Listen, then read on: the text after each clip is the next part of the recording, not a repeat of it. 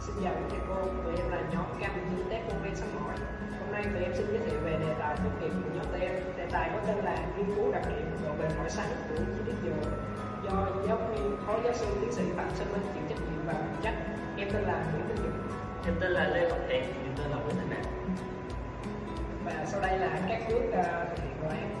À, nội dung thực hiện đồ án của chúng em bao gồm đầu tiên là nghiên cứu các tiêu chỉnh về độ bền mỏi sắn của chi tiết, thứ hai là chế tạo các mẫu thử, thứ ba là tiến hành thử mỏi cho các chi tiết và cuối cùng là tổng hợp kết quả và báo cáo. Kính chào các thầy, nhóm chúng em là nhóm test Bông men sống mỏi đang thực hiện làm đồ án tốt nghiệp trong học kỳ này và được hướng dẫn bởi giáo viên là thầy phó giáo sư tiến sĩ Phạm Xuân Minh.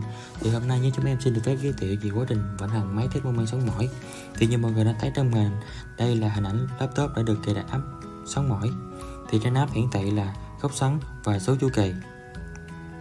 Thì laptop được liên kết với máy test mô men xoắn thông qua dây cáp. Dây cáp này thì được liên kết với hộp encoder. Và đây là hình ảnh mà à, sản phẩm đã được gắn đặt à, trên đầu gá và đầu gá sẽ liên kết với cảm biến. Tất cả sẽ được kẹp chặt trên mâm cặp. Đây là khi máy đang hoạt động. Và khi à, motor nào hoạt động thì sẽ làm cho tay quay và trục quay. Và tốc độ thì được kiểm soát bởi hộp giảm tốc. Và hộp encoder này thì sẽ kiểm soát góc xoắn đây là khi máy quay.